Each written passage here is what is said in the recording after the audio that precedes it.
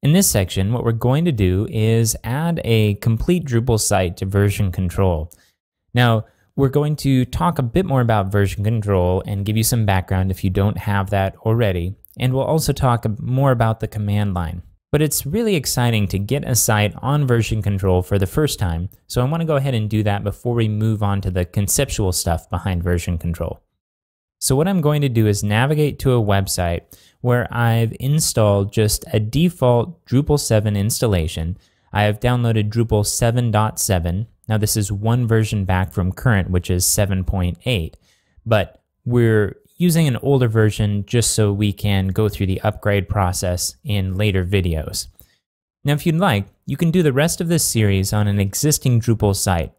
But because we're going to be modifying files, we'll be adding some dummy modules, you may want to create a fresh Drupal installation in order to practice on so you don't accidentally make modifications that you're not able to roll back easily. So my site is going to be on loc .getsite.com. And if we go ahead and open up this folder, you'll see that we have just a default Drupal installation. Now, we need to get to this place on the command line. So I'm going to jump to the command line. I'm going to hit Command K, which will clear the back scroll, which is everything that has previously been printed out on the screen. So we have a fresh command line here. Now, when we're on the command line, we're always within a particular directory in the file system. And we can find out what directory that is by typing pwd, which is short for print working directory. I hit enter, and it says that we're in users slash Chris. Now, this isn't where the website is that I want to add a version control, so I need to change the directory by typing cd and then the name of the directory. I know that it's at Chris websites loc.getsite.com. And you may have noticed that some of the text I was typing was automatically completed, and I was able to do that by pressing tab. And when you press tab, it will auto-complete anything that you're typing in. I'm going to hit enter, and now we're in the directory. So if I do pwd again, we get the name of the directory that we're in. Just to make sure, I'm going to type ls, which will list the files in our directory. And you can see that we have all of the files that exist in a default Drupal installation. So we should be good to go here. There are three steps we need to take in order to get our site into a Git repository.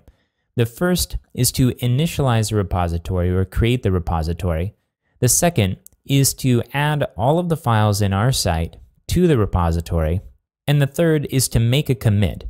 Now, we'll come back to all of those things in detail in just a minute. But let's go ahead and start at the beginning, which is initializing a repository.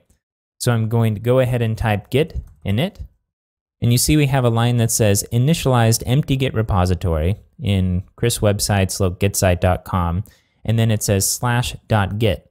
Now this is a new folder that got created when we initialized the repository, and we'll come back to that folder in a bit. But for now, suffice it to say that this is the folder where all of our Git information is stored. Now let's say we want to learn a little bit more about git init. What we can use is a command called help. So I'm going to go ahead and type in a command git help init. So what this says is that we're running the git program, we're running the help command, and we're passing init as a parameter to this command because we want to learn more about it. I'm going to go ahead and hit enter. And this will open up the git manual so we can learn more about it. And I can use the arrow keys to go down or up.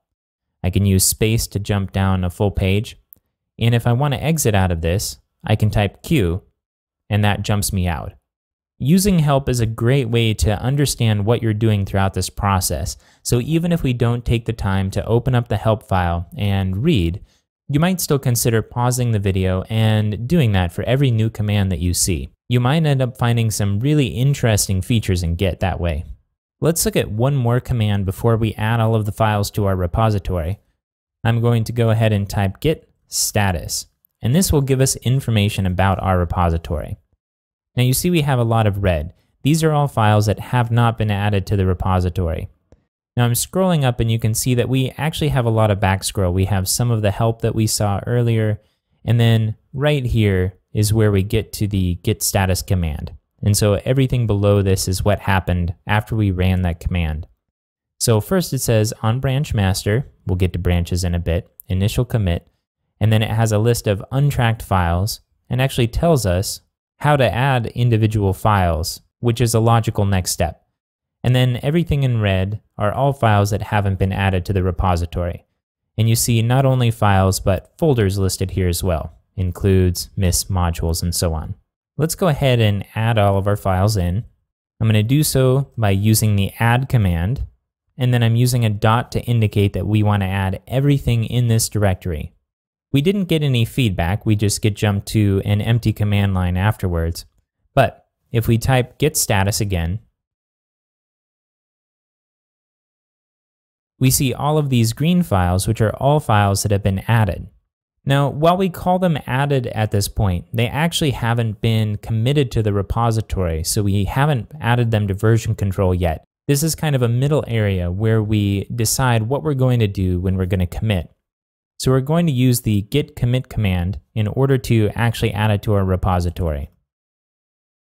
We're going to add a parameter, and we're doing so by doing dash m and then adding our message. So dash m is short for message, and we'll go ahead and call it first commit. And I'm going to hit enter. So if you're following along, congratulations because you've just added your first website to version control. What this means right away is that if you begin making modifications to this codebase, you can roll back to this snapshot that we just took of your codebase or compare any changes that you make to this snapshot. If we do a git status now, you see that we have nothing to commit. Our working directory is clean, which means we're good to go. Now, if we step back up to the command that we use, git commit, and we're curious what that dash m meant, and you'll see these additional parameters often, you can just do git help commit. And if you scroll down,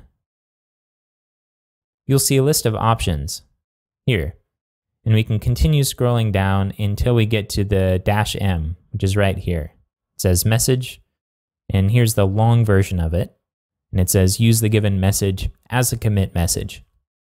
Okay, I'm gonna hit Q to exit out of that.